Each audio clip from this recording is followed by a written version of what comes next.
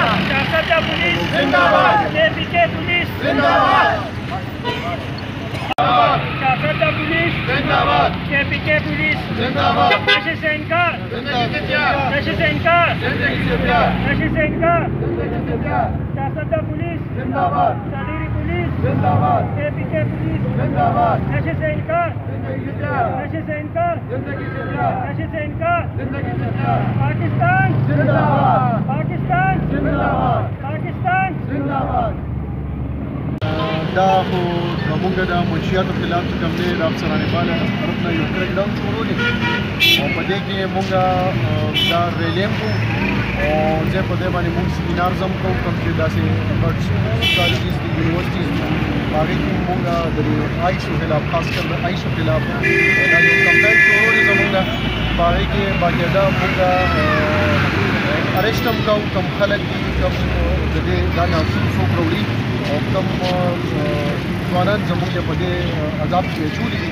د هغې خلاف موږ له یو برابر زموږ کاروایانې کوو باقي دا قانوني کاروایانې کوو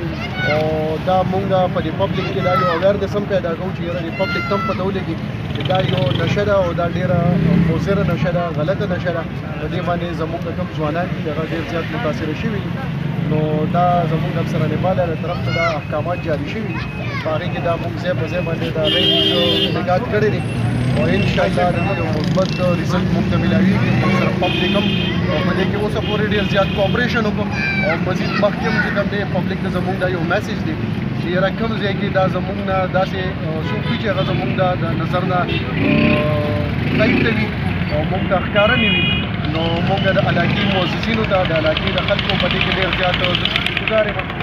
موږ سره په برخود شرکت په دې کې کوي او موږ سره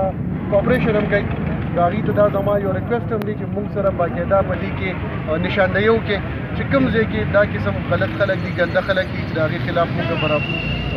کاروایانه وکړو او دا به ان شاء الله جاری وي مننه جی